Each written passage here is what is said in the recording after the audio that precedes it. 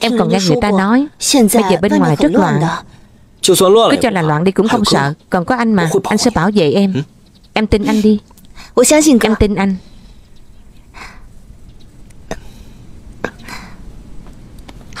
Được rồi.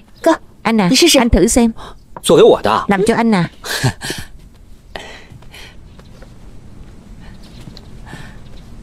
Thế nào? Rộng rồi. Đâu có. Vừa dặn mà Anh xem Bị rộng rồi nè. Anh cởi ra đi. Em giúp anh sửa một tí Không cần đâu. Từ hôm nay trở đi Mỗi bữa anh ăn nhiều một chút Để anh béo lên. Không phải là vừa rồi sao? Anh chỉ biết nịnh em thôi. Để anh béo lên rồi Em lại mai cho anh một cái mới. Bộ này vẫn nên sửa thì hơn. Lạ thật đấy. Rõ ràng làm theo số đo của anh mà. Được rồi. Không sao mà. Anh chắc mấy ngày trước giúp bà Lý sửa sang nhà cửa có chút mệt. Nên gầy đi xíu. Không phải tại em tay nghề có vấn đề đâu Em xem đi Em xem này. Giày đợt trước em làm. Đi cực thoải mái. Trời lạnh rồi. Anh làm thêm cho đôi giày nữa nha. Không cần đâu. Không lạnh. Nha đầu. Tâm ý của em anh hiểu. Nhưng anh không muốn em gì anh Cả ngày cả đêm đầu tắt mặt tối. Nhìn thấy anh rất đau lòng. Em biết rồi. Em không nên để anh phải lo lắng. Nha đầu. Vậy sao chúng ta đừng vất vả quá? Bình an sống qua ngày. Được không Nghe I'm hết.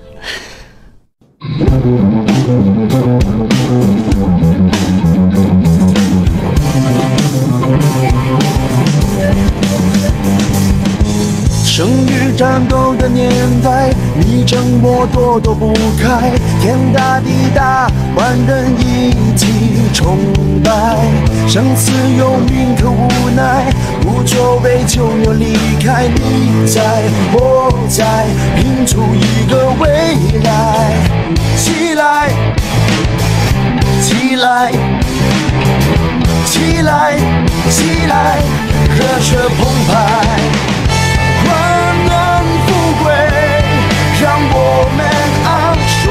再畏惧，不管多少是非，一进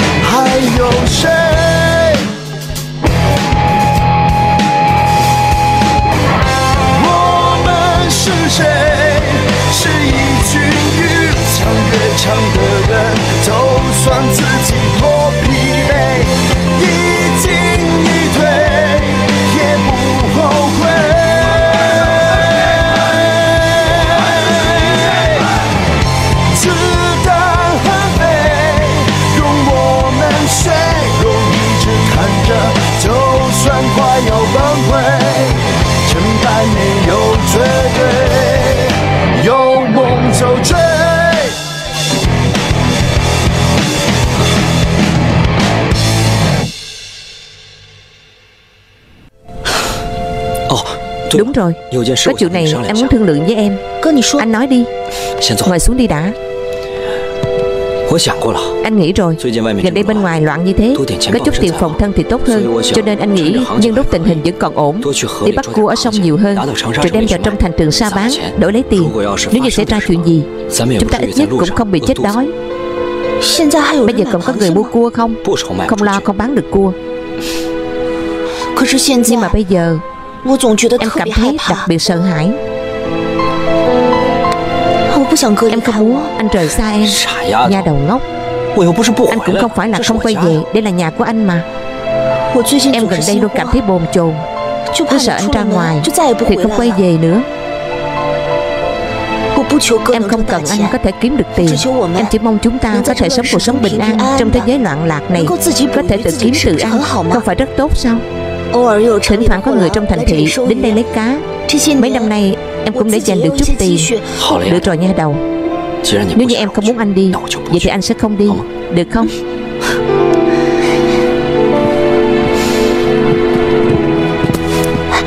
Anh, anh đi đâu thế? Đi bắt cua. Không phải anh nói không đi bắt cua nữa sao? Anh, anh sao vậy Trêu em đấy. Nhìn mặt của em kìa. Anh đây đi bắt cua cho em ăn. Anh chỉ biết bắt nạt em thôi. Đi đi, đi đi. Nhưng bắt nhiều cua một chút nha.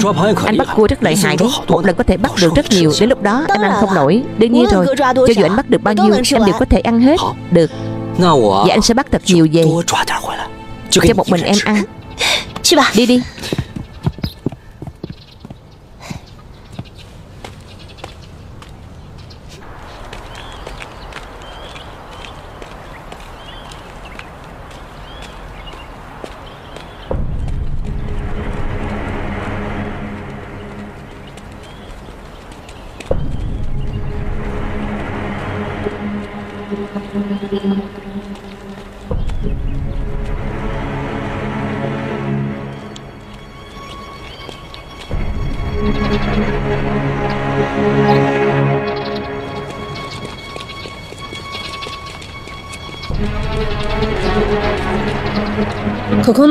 này à? Dân Chúng tôi đã xác định qua rồi.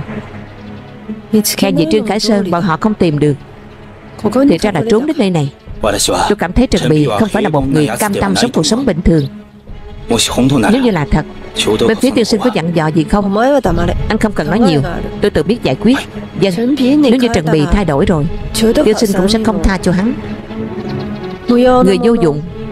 Thì hạ khắc phải giữ lại chứ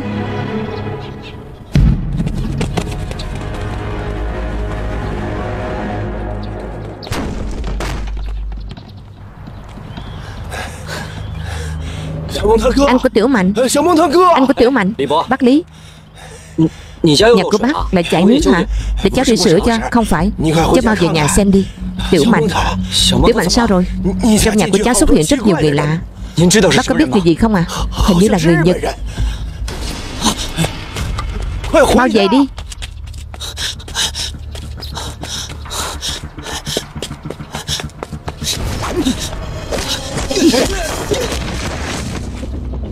Người gì?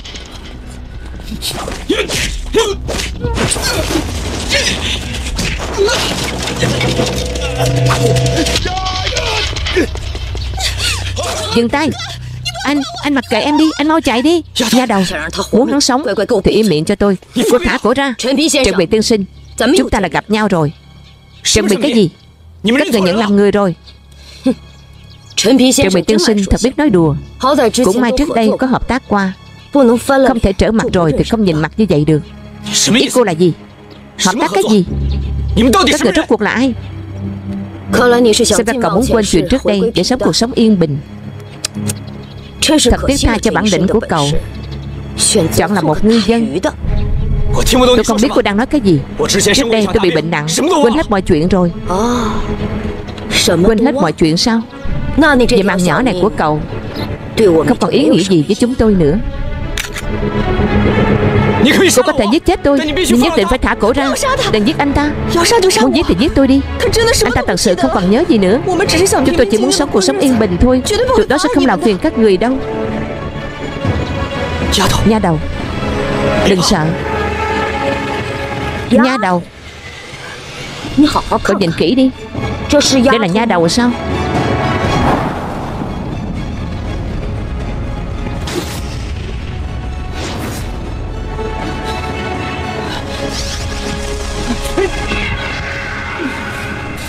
Anh.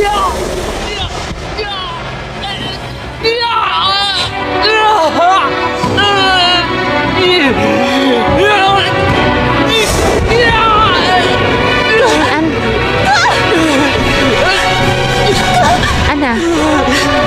Anh không sao chứ? Anh, anh sao thế? Anh không sao chứ? Tôi xin các người. Xin các người tha cho anh của tôi đi. Tôi xin các người. Nha đầu. Anh, nha đầu. Em là nha đầu của anh đây. Anh à Anh. Nha đầu. Anh à Giải đi.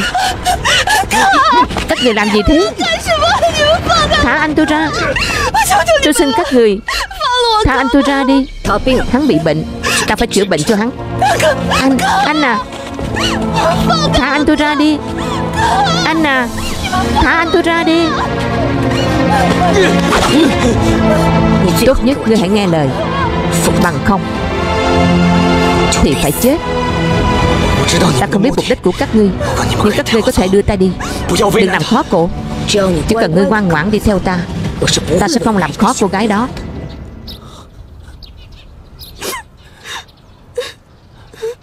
Cho ta nói với cổ mấy câu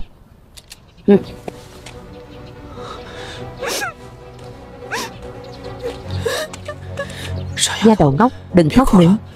Anh đâu có sao? Trước kia anh là ai Đã làm gì? Anh đều quên hết cả rồi. Chuyện này luôn như là cái gai trong lòng anh. Không nhổ ra được anh rất khó chịu. Anh muốn biết được quá khứ của mình Mà họ là chính là người biết được quá khứ của anh.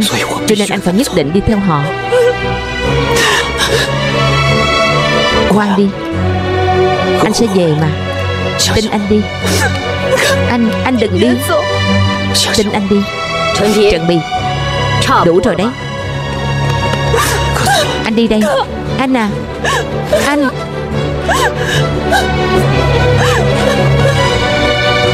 Anh à. Anh Anh về đây đi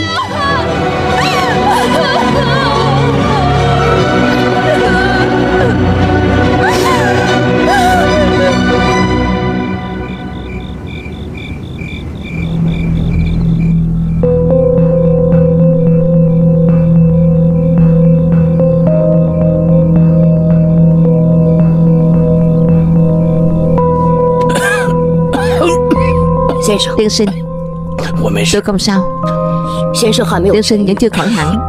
Sao đích thân phải chữa trị cho Trần Bì? Lẽ nào tiên sinh không tin. Bác sĩ do chúng tôi mời đến sao? Bệnh của hắn không phải trên thân thể Mà là ở trong tâm. Trong tâm.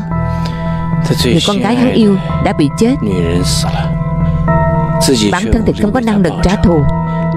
Người sư phụ hắn tôn kính nhất cũng không còn tin hắn. Trải qua những sóng gió bấp bên này Hắn đã tự giác chọn cách Quên đi những ký ức Khiến hắn đau khổ dạng phần. Những ký ức mà bản thân vô cùng kháng cự. Điều tôi cần làm Chính là giúp hắn đánh thức đoạn ký ức này. Như vậy Hắn mới có thể quay lại làm bản thân mình. Chấp niệm của hắn rất sâu Giết người không chớp mắt. Rất thích hợp để giúp chúng ta làm những gì chúng ta không tiện ra mặt làm. Phương pháp thôi miên này của tiên sinh Chính hữu dụng thật sao? Đương nhiên. Hắn sẽ nhớ lại tất cả mọi chuyện. Đến lúc đó thuyết phục hắn làm việc cho mấy người. Dễ như trở bàn tay. Tiên sinh quả nhiên suy nghĩ chu đáo. Vậy thì làm phiền tiên sinh rồi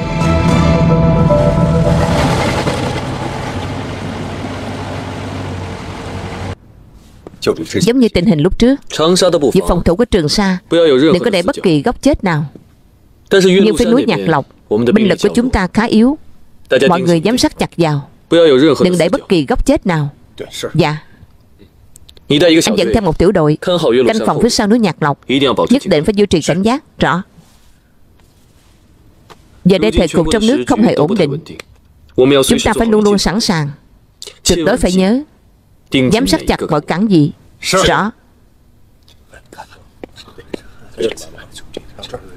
Phật gia. Sao vậy?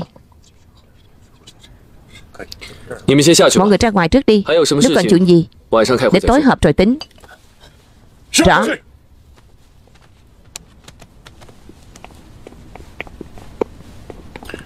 Phật gia Phu nhân đến rồi. Tôi đã bảo đừng để cổ đến quân doanh còn gì Bây giờ cô ta đang ở đâu? Tôi nói ngài đang họp Cô đã về rồi. Phu nhân bảo tôi nói với ngài Tối nay nhất định phải về nhà ăn cơm. Phu nhân có việc cần nói với ngài. Chắc không kịp ăn tối đâu. Sao bữa họp tối nay Có thể kết thúc sớm hơn không đã. Anh đến đúng lúc lắm. Qua đây xem giúp tôi một chút. Việc phòng thủ ở núi Nhạc Lộc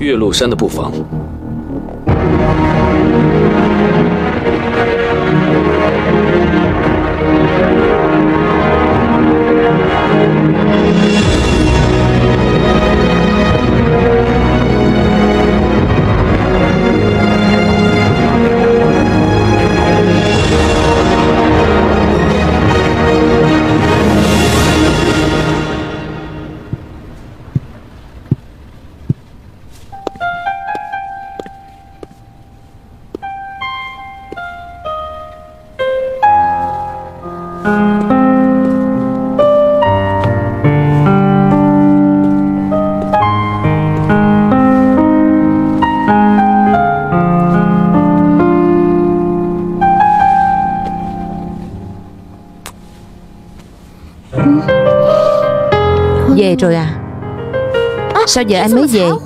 Em đợi anh cả buổi tối rồi. Xin lỗi em. Anh học xong là về liền. Xin lỗi em.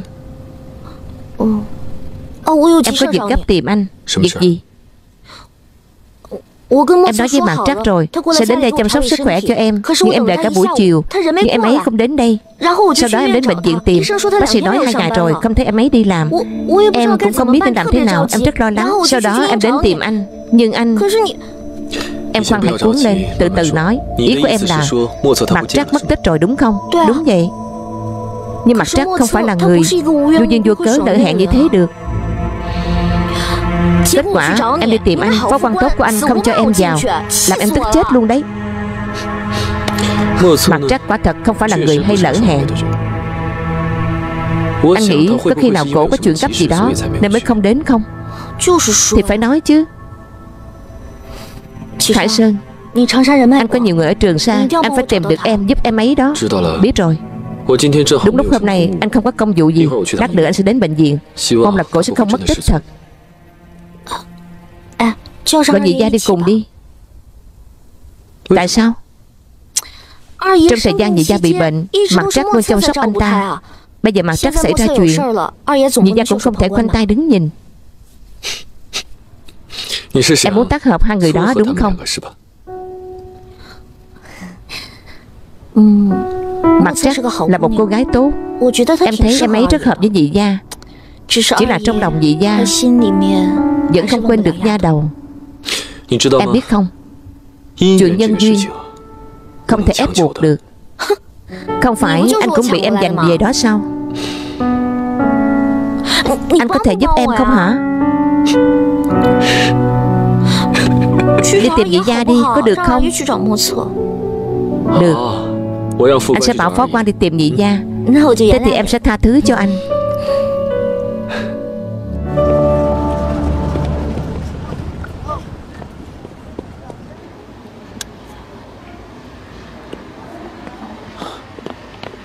Phật gia. Nhị gia đâu?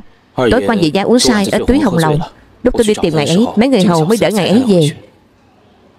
Mặt chắc là em họ của Tân Nguyệt. Nhị gia không đến được Thì chúng ta chỉ có thể đi điều tra thôi. Đây là phòng làm việc của bác sĩ Mạc à? Không khóa cửa. Còn có một lớp bụi mỏng ở phía trên. Chắc là mấy ngày liền không có ai vào rồi. Có khi nào bác sĩ Mạc bận chuyện riêng không? không đâu. Tân Nguyệt nói Cổ là một người rất giữ lời Sẽ không vô duyên vô cớ lỡ hẹn Tìm đồng nghiệp của cổ hỏi thử đi. Dân.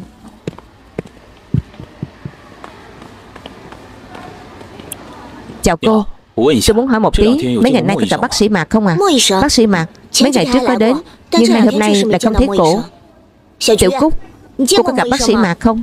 Bác sĩ Mạc hả? Không gặp. Mấy ngày nay bác sĩ Mạc không có đến đây. Phòng làm việc của cổ còn khóa Chắc là về quê rồi. Vậy xin hỏi cổ mất tích mấy ngày rồi? Mất tích hả? Không phải chứ Hay là đến chỗ chủ nhiệm lý hỏi thử đi. Đúng đó. Người làm sao có thể vô duyên vô cớ mất tích chứ? Chắc là trong nhà có chuyện. Nên xin chủ nhiệm nghỉ thôi. Phòng của chủ nhiệm lý ở đâu vậy? Lầu 2 Cảm ơn. Cảm ơn.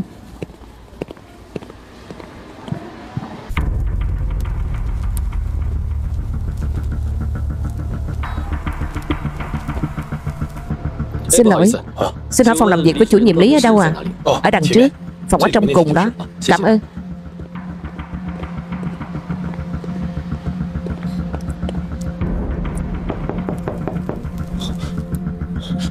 Mời vào.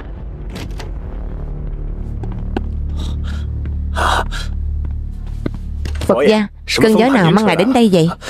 Mau ngồi xuống đi. Bác sĩ, y tá nhân lực hoàn toàn không đủ. Nếu như bệnh viện anh thiếu người như vậy Vậy một bác sĩ mất tích Sao vẫn chưa có ai hỏi thăm? Mất tích. Ai mất tích? Mạc trắc. Bác sĩ Mạc.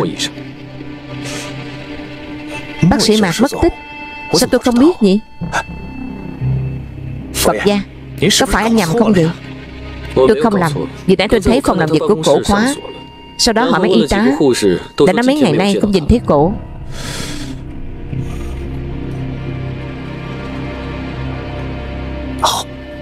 Tôi nhớ ra rồi. Mấy hôm trước Tôi và bác sĩ Mạc tranh luận mấy câu. Không ngờ cổ giận. Không đến bệnh viện làm nữa Hai hôm nay tôi cũng bận bù đầu Thật sự không biết chuyện cổ không đến bệnh viện Tranh luận Tại sao vậy? Cũng không có gì. Chỉ là phương án chữa trị một bệnh nhân thôi. Suy nghĩ của chúng tôi bất đồng. Bác sĩ mà Trẻ người non dạ Tôi bắn cổ vài câu Đã không đi làm nữa. Anh xem Tôi bận rộn thế này. Thật sự không biết chuyện cổ không đi làm. Vậy ý anh là Anh cũng không biết hiện giờ cổ ở đâu. Tôi thật sự không biết Xem ra tôi nói nặng lời quá rồi. Bác sĩ Mạc nhất thời nghĩ không thông. Tôi Tôi cũng rất bất an.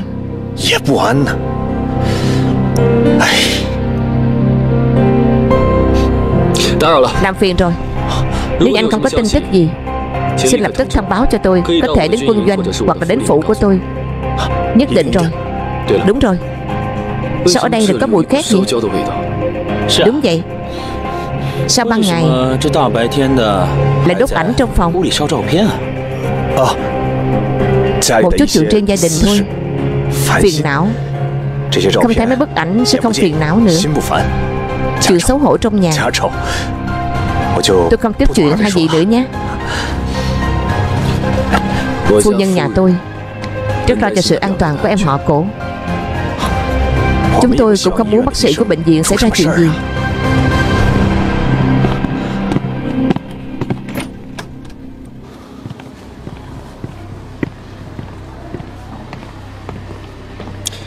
Tôi thấy bác sĩ này hơi lạ. Ở lại trong chừng anh ta. Tân Nguyệt đang rất nóng lòng ở nhà. Tôi về nhà trước xem cổ. Có chuyện gì lập tức thông báo cho tôi. Dân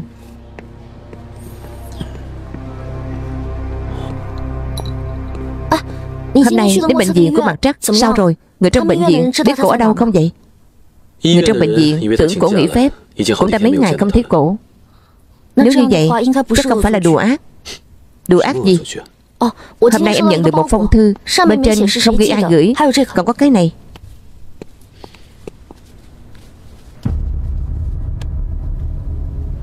Đây là máu người sao?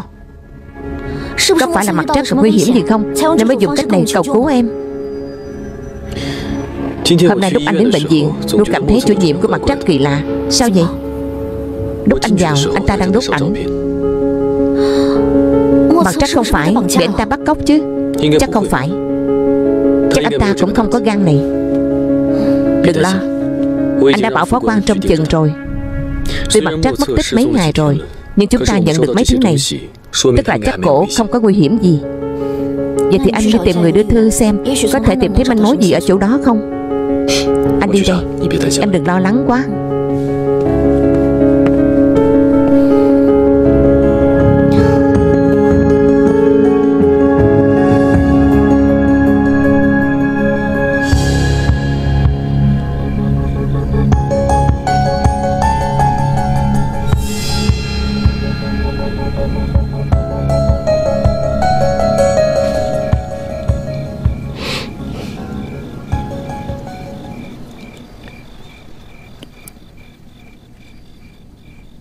Trần Bì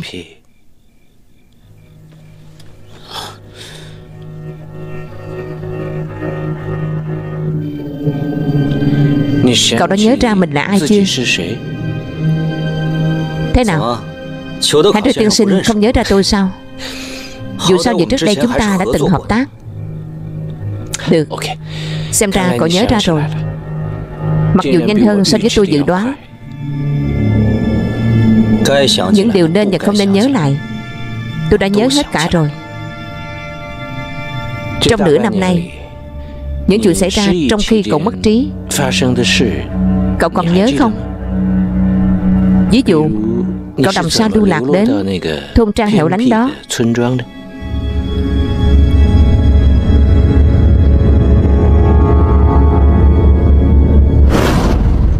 Nha đầu Nha đầu. Nha đầu.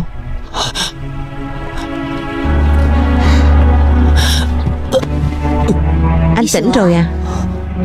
Cô là ai? Đây là đâu? Tôi họ Mạnh. Đây là nhà tôi.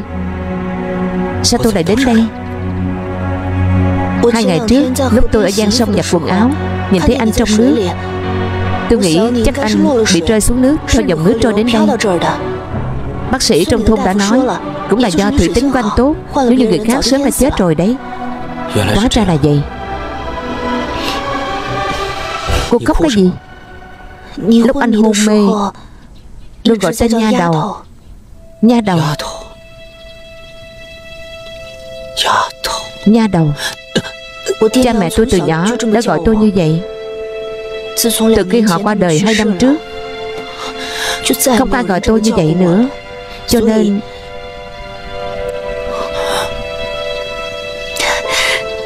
Để anh chê cười rồi. Thật sự cảm ơn cô đã cứu tôi. Hơn nữa là để cô nhớ lại chuyện thương tâm. Thật sự xin lỗi. Đúng rồi. Anh tên là gì? Còn nữa, Anh đến từ đâu? Tại sao lại rơi xuống sông?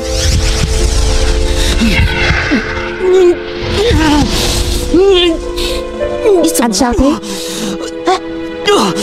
Được rồi Không nhớ ra thì bỏ đi. Cần gì phải dày dò mình như vậy?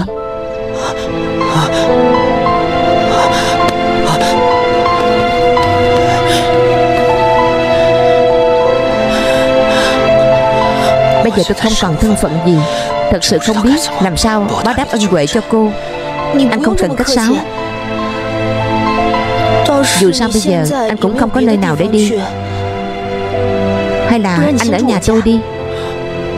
Anh có thể giúp tôi bắt cá Làm nông hay gì đó.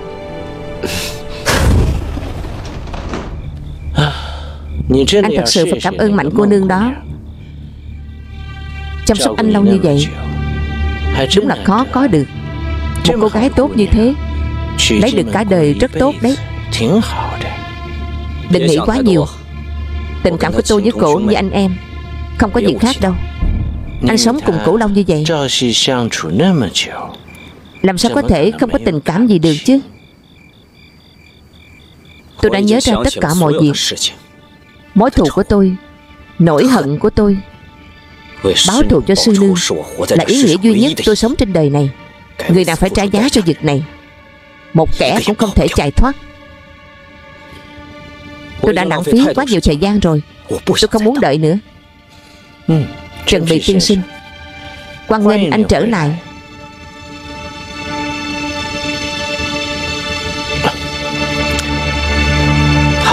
Được. Bản thân cậu vừa khỏi bệnh. Nghỉ ngơi cho tốt. Đúng rồi Quần áo trước đây anh mặc. Tôi đã bảo người giặt sạch rồi. Chỉ là to một chút. Nhưng chân quần rất chặt. Có thể thấy, Người làm chiếc quần rất có dụng tâm.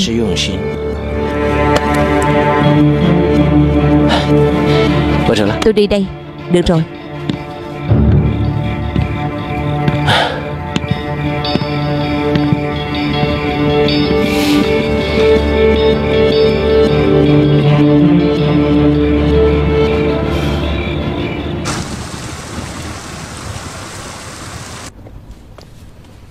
Phu nhân Cơ thể cô giống dĩ không được khỏe Sau khi nhận được kiện hàng tay chân lạnh ngắt Mau ngâm chân vào nước nóng đi à. Mặt chắc không tìm được rồi Tôi làm gì có tâm trạng ngâm chân nữa chứ. Phu nhân cô đừng lo. Phật gia nhất định sẽ tìm được bác sĩ mà. Sức khỏe của cô cũng rất quan trọng. Được rồi. Mặt trách này. Rốt cuộc mặt trách đi đâu nhỉ Nóng thế hả? Sao lại nóng thế chứ? Bác sĩ Mạc đã nói Ngâm chân phải nóng như vậy mới tốt. Phật gia. Anh về rồi à? Sao rồi? Lui xuống trước đi. Dân Sao rồi? Ngồi xuống. Nào. Để chân vào trong đi đã. Không thì nước nguội mất. Đừng lo cho em. Anh nói cho em biết. Điều tra thế nào rồi Cái bọc đó là từ một thôn nhỏ Ở ngoài thành Trường Sa gửi tới. Trưởng phó quan đã đến bệnh viện một chuyến Hỏi chủ nhiệm của mặt trắc Biết được bối cảnh của sự việc Sau đó thì sao? Nó ra dài lắm. Sự việc không đơn giản như vậy? Ký sinh trùng mà Trương Phó Quan tra ra Có ở Hắc Kiều Trại Hắc Kiều Trại Hắc Kiều Trại Trước đây lúc thắng gỗ với lão bác Em có nghe nói qua Anh ta nói xung quanh Hắc Kiều Trại có người Nhật Bản Vậy chuyện này có liên quan đến người Nhật không? Rất có khả năng Bọn họ làm bất cứ điều gì. Trước đây ở trong hầm mỏ Bọn họ dùng thiên thạch đồng tạo vũ khí Bị chúng ta ngăn cản Để rất ít xuất hiện ở Trường Sa Nhưng mà không ngờ Bọn họ lại đến Hắc Kiều Trại Xem ra bọn họ vẫn không hề nhàn rỗi. Vậy phải làm sao đây? Ta đến thôn một chuyến Điều tra xem thế nào? Vậy nếu chuyện này Có liên quan đến người Nhật Mặt chắc chẳng phải rất nguy hiểm sao? Em yên tâm đi. Có trường đại Phật gia ở đây Ta nhất định có thể cứu cổ ra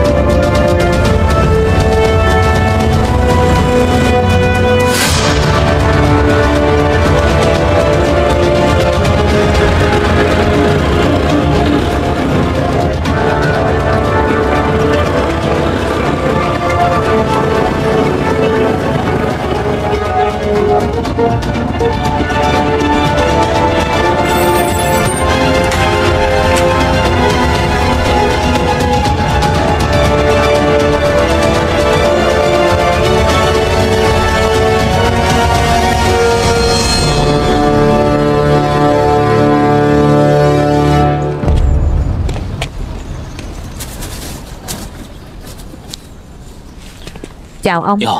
Xin hỏi ông là đại phu của thôn này à? Đúng thế. Các ngài là Chúng tôi đến từ Trường Sa. Đến từ Trường Sa. Lại là đến từ Trường Sa.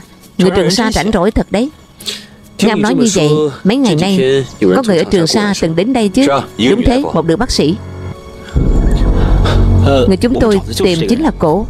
Cổ đã rời nhà mấy ngày rồi Chúng tôi vẫn chưa tìm thấy cổ.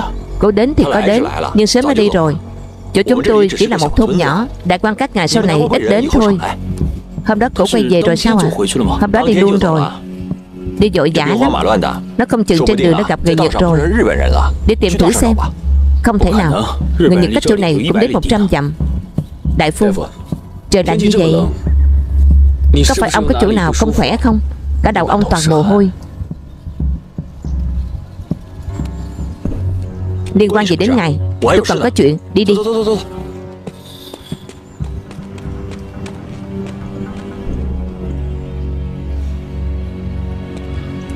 Phật gia Vừa rồi Thôn đại phu đó nhìn thấy ký sinh trùng cực kỳ sợ hãi Có khi nào em không cảm thấy cái thôn này có điều kỳ lạ sao? Nhất định có liên quan tới ký sinh trùng đó. Ký sinh trùng này là có hát chùa trại sao? Quả thật là vậy Vậy chuyện này e là phức tạp đây. Cái thôn này trước mắt là manh mối duy nhất của chúng ta Phải điều tra đến cuối. Nhưng điều tra thế nào đây? Không thể dùng biện pháp mạnh. Tôi không tin người cả thôn này không đi ra ngoài lấy một ngày Đi thôi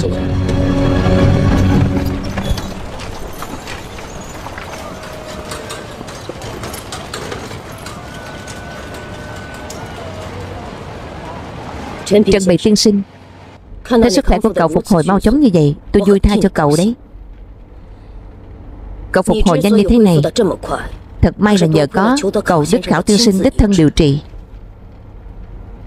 Nếu như cậu biết Cậu Đức Khảo tiên sinh trước giờ luôn coi trọng người tài Cực trọng dụng cậu. Nhiều lần ra tay giúp đỡ cậu. Cậu đừng có phụ lòng. Khổ tâm của ngài ấy đấy là thật lòng hay là dối lòng? Tôi có mắt nhìn thấy rõ. Không phiền đến cô. Đó là tất nhiên rồi. Trần Bị Tiên Sinh là người thông minh Có thể tự nhìn rõ cục diện Vậy thì tốt quá.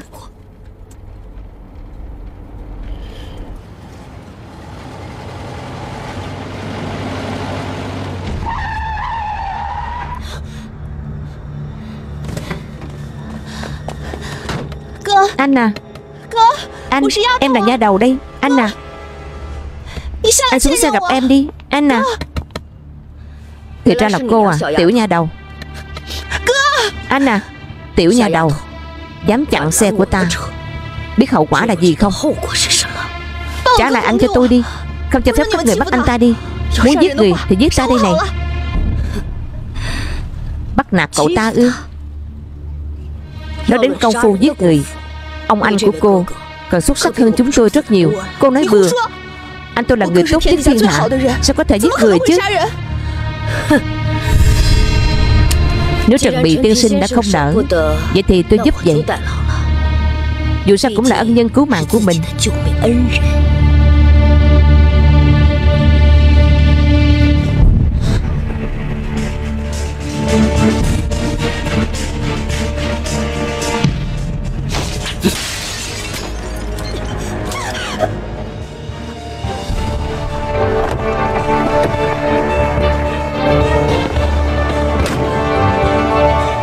Nếu là ân nhân cứu mạng, Thì tôi không có đạo lý gì. Khoanh ta đứng nhìn cổ chết.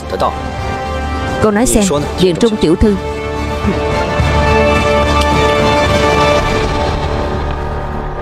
Anh à Em còn tưởng anh không cần em nữa. Đi, Chúng ta về nhà đi anh. Anh à Mạnh cô đương Hôm đó cô cứu mạng tôi. Bây giờ xem như tôi trả cho cô từ nay về sau Chúng ta không ai nợ ai Không còn dây dưa. Anh Sao lại nói những lời này? Không phải mấy ngày trước chúng ta vẫn còn tốt đẹp sao? Sao lại còn không dây dưa gì nữa chứ? Anh đồng ý với em quay về. Chúng ta còn phải bên nhau cả đời thì sao? Tôi nhớ lại mọi chuyện rồi. Nhớ lại chuyện tôi phải làm Nhớ lại trong cuộc đời tôi. Trong tim chỉ từng có một người phụ nữ. Vậy nên Vậy nên anh muốn đi tìm. Vậy nên anh không cần em nữa. Tôi chỉ xem cô là cổ thôi. Cô đừng đến tìm tôi nữa. Bây giờ thế đạo loạn là Tìm một nơi sống ngày tháng yên ổn đi. Cô cứ coi như tôi chưa từng xuất hiện. Anh à Em là nha đầu. Anh nhớ lại chuyện quá khứ Thì đã quên chuyện chúng ta rồi sao?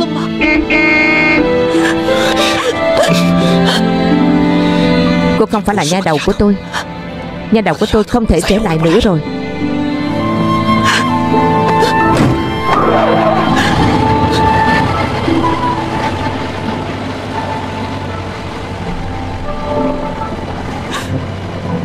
Anh à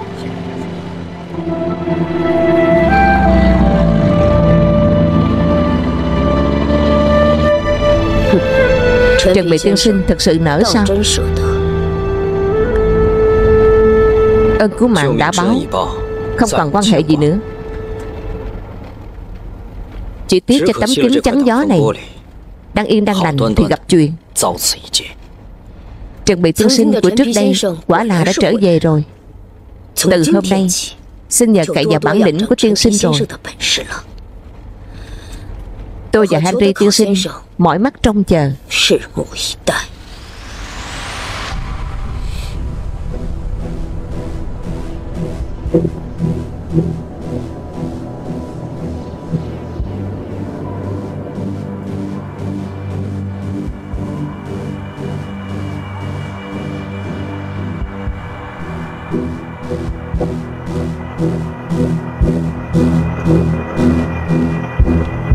Phật gia.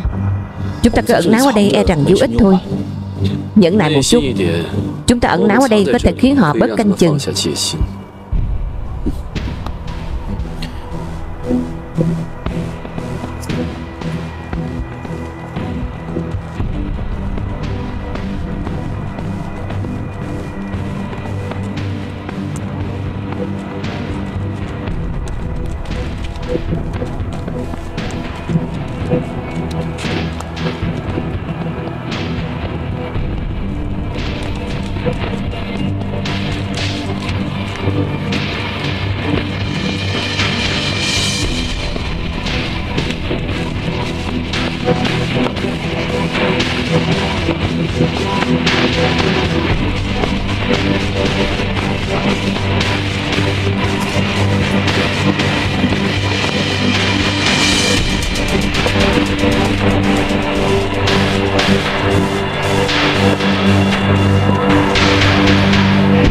Phật gia. Bọn họ đang bái gì vậy? Đợi trời tối là biết.